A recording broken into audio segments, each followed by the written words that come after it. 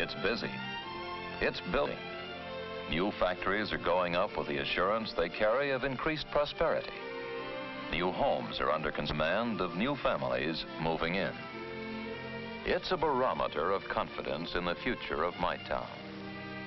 A confidence that comes from knowing its many advantages. The excellent schools, for example, that serve their children. And the playgrounds available for recreation. Comforting to the happy fathers and mothers who live here and call it home. For my town is home in the pleasantest sense of the word. From the early call of the milkman through a day of normal activities, one gets the feeling that this is a community of good neighbors. The kind of a place you'd like to live in, perhaps grow old in. The kind of a place you'd take pride in, that a great many people take pride in. That's my town. What's making it all tick? What's welding it into a going community? Many things, of course. But one of the most essential factors in its growth is communications. Communications provided by the telephone company and designed, among other things, to give my town the means for transacting business, the means for communicating information, for seeking help, for keeping old friends in touch. Yes, communications and the telephone company that provides them are part of every community in America. The welding force that joins them into a nation of neighborhoods, communicating with each other and with every country of the world. And like my town itself, the telephone company is more than buildings and vehicles, poles and switchboards. It's people. Many people in many places doing many different jobs. Like the operators who handle telephone calls in my town. Here in the central office, you can feel the pulse of the community. The flashing lights on the switchboard reflect the activity of the town. Thank you. It begins to stir in the early hours of the morning. Your name and number? It reaches its peak in the rush hours of daytime. That's Pennsylvania. Place, please?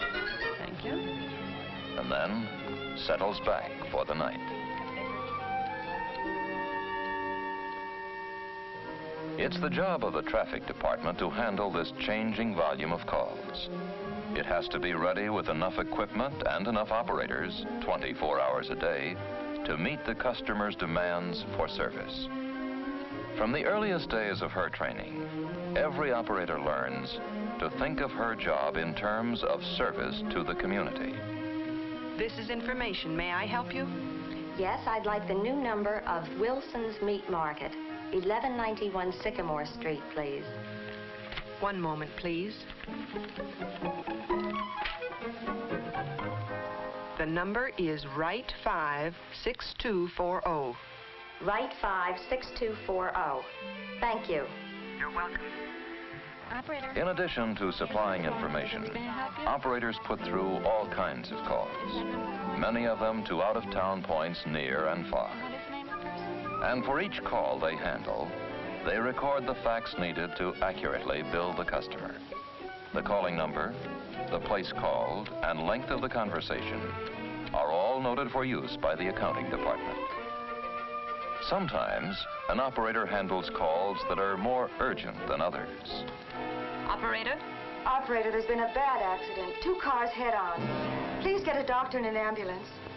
Can you give me the address, please? It's right outside my house. Old Woods Road near Van Dyke. Hurry, please. Thank you. We'll get help to you as fast as possible. Thanks.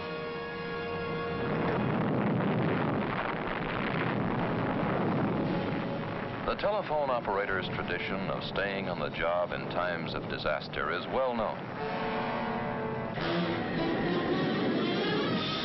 It's a responsibility they willingly accept and take pride in.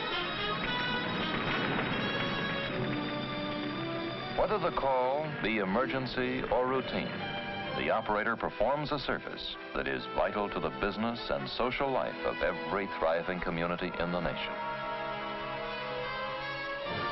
And that certainly fits my town. It's a community on the go. New shopping areas to keep pace with demand. New construction of all kinds. New factories are going up, creating greater job opportunities with all that they hold for my town and its people.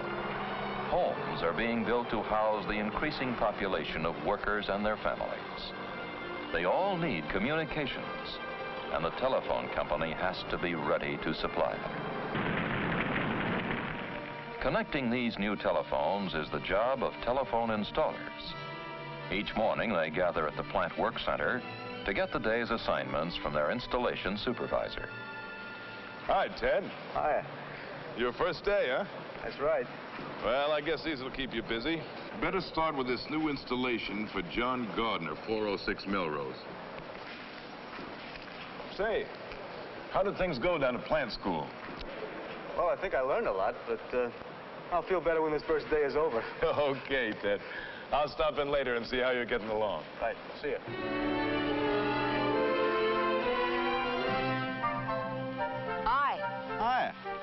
Your house? Yep. Could you tell me something? Uh, sure, if I can. Where does this wire go?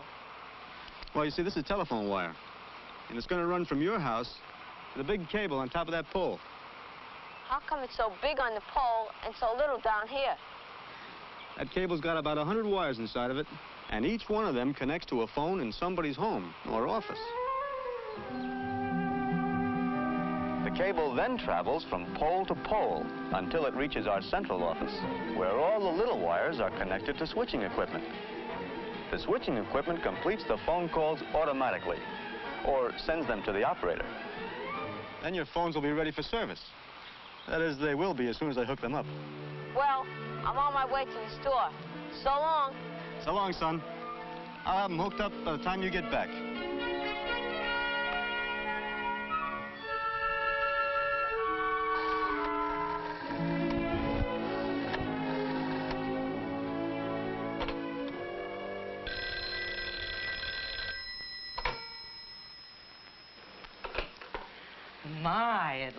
Just fine. Your phones are ready, Mrs. Gardner. Right now, you can call anywhere in the world if you want to. Good. And uh, here's your new directory. Your name will appear in the next issue. Meantime, people can find you through information. Well, thank you. It's so nice to have a telephone.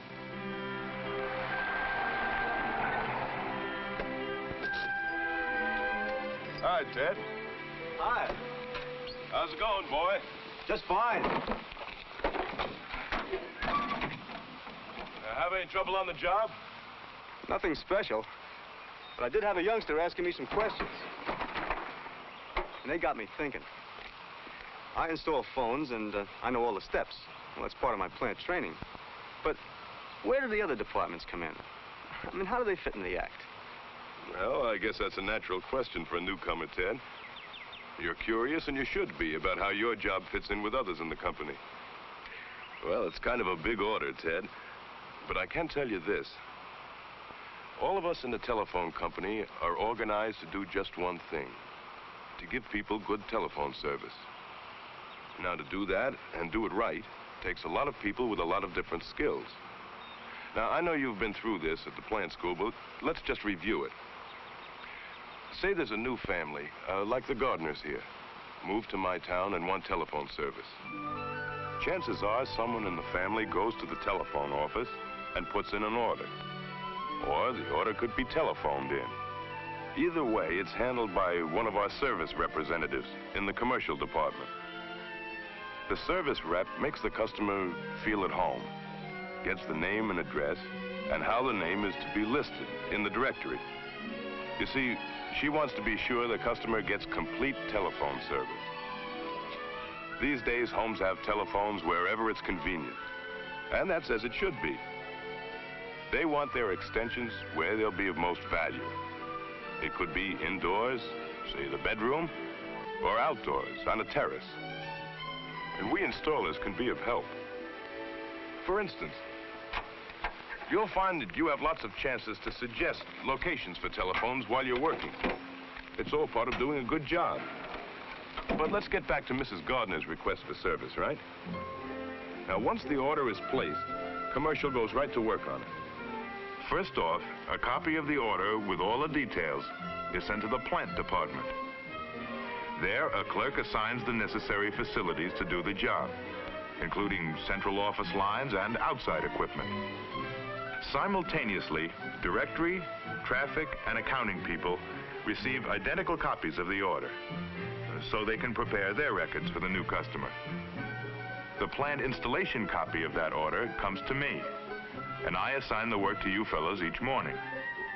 Now, while you were hooking up the line for Mrs. Gardner's phone, the frame man in the central office was connecting it to the switching equipment. That gives us the circuit that makes it possible for Mrs. Gardner to pick up her phone and call to a friend across town or across the nation. Well, that's part of the story, Ted. Lots more, of course. But maybe it's given you some little background on how a few of the departments work together. It sure helps, Jack. But boy, I've got a lot to learn, haven't I? We've all got a lot to learn, Ted. You never stop learning in this business. And you understand your own job better when you know how other departments operate. For instance, the commercial department. In addition to servicing new customers such as Mrs. Gardner, also handles the payments of the customer's bills. It has the further responsibility of forwarding the names of new subscribers to the printer for the telephone directory. Every name, address, and number is carefully checked and rechecked for absolute accuracy. It is an exacting task every step of the way. As they say, it's something for the book. The book, in this case, being the most widely used volume of the year. Commercial also collects the money from public telephones that serve my town in stores, factories, transportation centers, and even along the highways. Then there are the telephone salesmen. They have the job of calling on business customers and suggesting the type of telephone system that will best serve the customer's business needs. Directory advertising salesmen also call on business customers and show how Yellow Pages advertising can help them. They plan the kind of layouts that attract buyers and boost sales for the advertiser. The service the telephone people give can be as immediate as right now. It can seek and answer the needs of today. It can plan the needs of tomorrow. And the needs of tomorrow are a service responsibility of the engineers. They have the job of looking ahead, of anticipating how and where my town is going to grow. So the telephone plant can be installed efficiently and economically and be ready when the customer needs it. They decide where telephone cable will be installed, how it will be installed, underground or overhead, and how much of it will be needed. Should it be a 200 pair cable or a 400 pair cable? They have to make sure there's enough equipment in the central office to handle the switching of the calls and plan cables for routing long distance calls. The engineers also work directly with builders in my town to be sure the telephone service will be ready for customers when they move into their new homes. Uh, houses run twenty to twenty-five thousand dollars, and I've got the men out working, and figure to have them finished by spring. In other words, you want to be ready for immediate telephone installation when the houses are completed. Definitely. Well, here's the situation, Mr. Palmer. We've got enough feeder cable coming up to this area, but we've still got to get our poles and distribution cables in place for wiring to the houses. I had no idea there was so much involved. Well, that's why we appreciate this advance notice. You know, uh, some builders don't include us in their plans, and then the new homeowners have to wait for their telephones. We don't want that to happen here. We want phones available when our houses go up. You can count on us. We'll be ready. In just such fashion, telephone planning and construction work go hand in hand as my town grows and expands.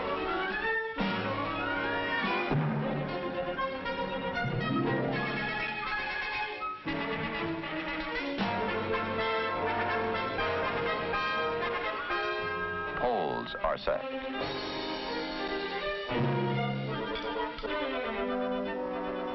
Cables strung.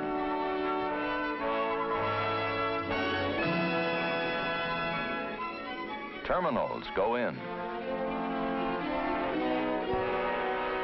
A communication pattern develops that serves the growing needs of my town. And to give my town the top telephone service it needs and expects takes a lot of money. And that's where accounting comes in. It has to keep track of all the money spent and received so that the company may know where it stands financially. All bills and invoices come to accounting for checking. And they keep all the cost records necessary to prepare the company's financial reports. They have charge of the records that document the location, the type, and the size of telephone plant. And here, too, are prepared the paychecks, an event of never-failing interest to every employee of the company. Accounting also prepares and mails the customer's bills. And there's more to that than the mere say-so. An array of data processing equipment handles a customer's bill from the first step of listing the customer's name and address through the successive stages of computing the bill and preparing it for mailing.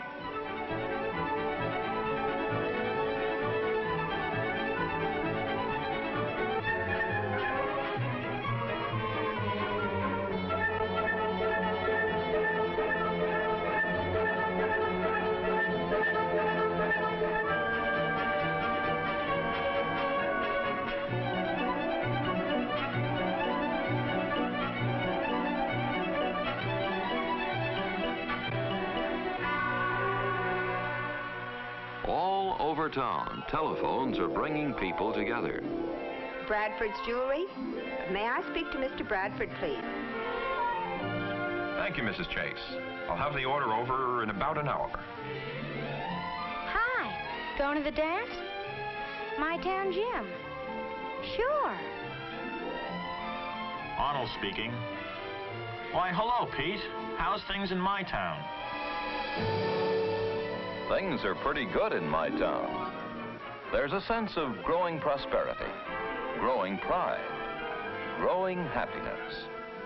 And the telephone company is a grateful participant. Now, we've seen the parts played by the various operating departments, such as traffic, whose operators handle many of the calls. Plant, which installs and maintains the equipment. Engineering, where all the planning and designing are done. Commercial, which is responsible for many customer services. And finally, accounting, where all the financial records are prepared. Working in support of these operating units are the company's staff departments, such as personnel. Personnel helps to develop and train people in all levels of employment. They handle benefit and pension plans, pleasant reminders of earlier days. They also watch over the health of the employees and arrange for medical attention whenever they need it. An equally important staff section is the legal department, which checks all company contracts and represents the company in court actions. Public relations is also one of the company staff departments. It is largely responsible for keeping the public informed about the company. Its members write news releases for the community newspapers. They also prepare newspaper advertisements that promote various telephone services. And they coordinate activities that deal with radio or television shows. They prepare films and other programs for employee and public groups. And they take part in arranging telephone open houses to which the people of the community are invited. The preparation of the company magazine is also the responsibility of public relations.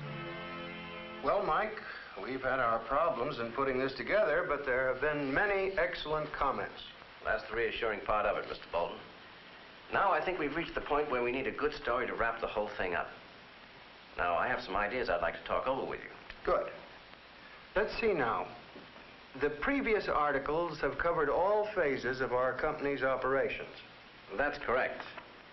And now that we've explained what we do, I think we should show how we fit into the big picture.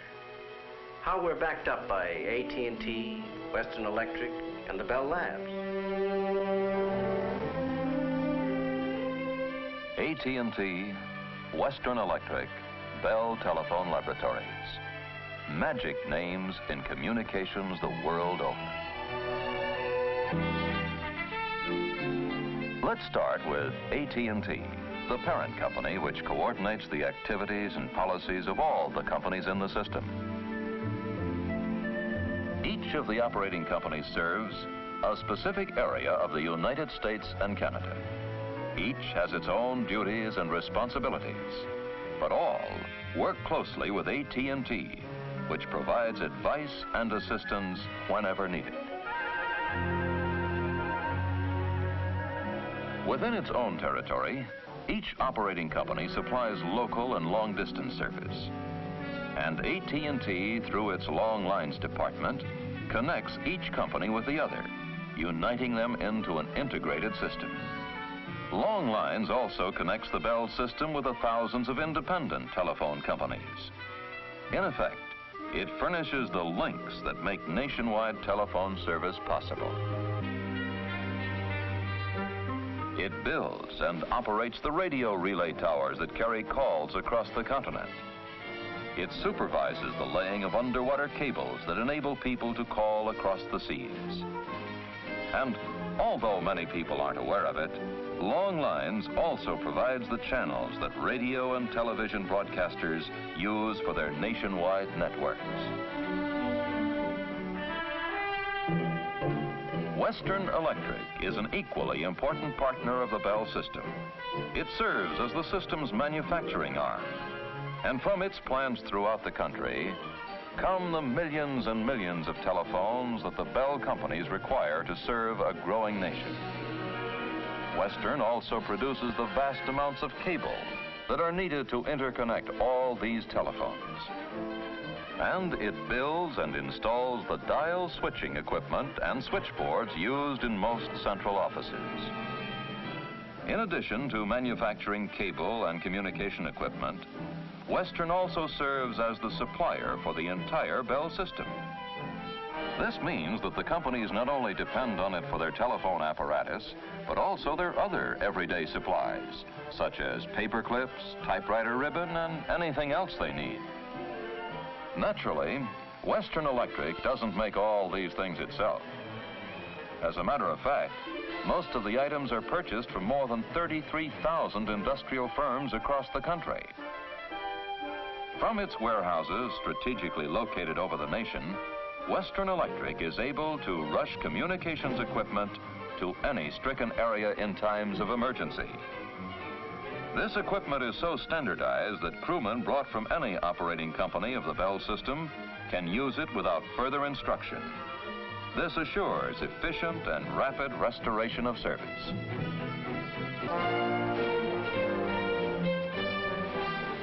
Then there is the extremely important part that both Western Electric and the Bell Telephone Laboratories are playing in building the nation's military defense system. Both have had much to do in the design and construction of such projects as the DEW Line and SAGE, and in the development and manufacture of guided missiles.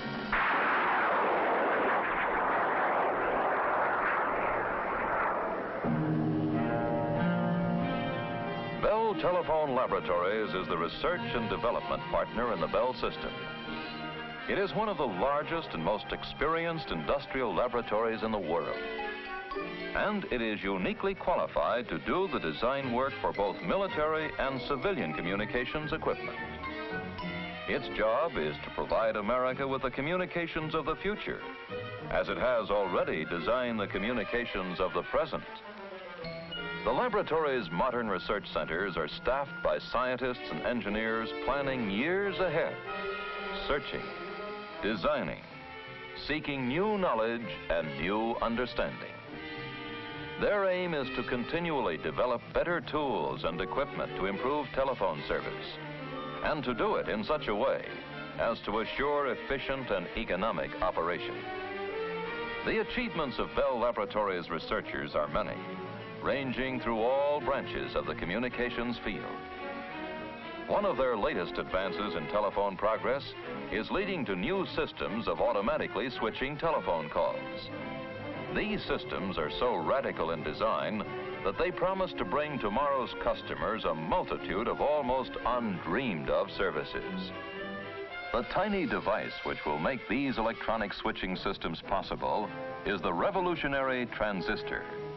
Invented at the laboratories, the transistor brought Bell scientists one of the two Nobel Prizes they have won for discoveries in physics. Though it was primarily developed for the betterment of telephone communications, the versatile transistor now appears in a staggering variety of devices and equipment. It has become an important factor in the growth of many new industries, a development that is welcomed by the telephone company. Welcome because it is in the pattern of service that is traditional with every phase of telephone operation. From its very beginning, service has been an inseparable part of the telephone story. As inseparable as the telephone company's long and continuing association with the communities of America. The My Towns everywhere who gave it the opportunity to be of service. They have grown together, these cities and villages of America and their telephone companies. Good friends and good neighbors. They share the responsibilities of good citizenship. Telephone people are proud of those responsibilities, both on the job and as individual citizens, helping their communities in their own ways. They are proud of being part of their town's hopes and joys. Proud being able to further its communications, whatever the hour. Proud and happy to be of service.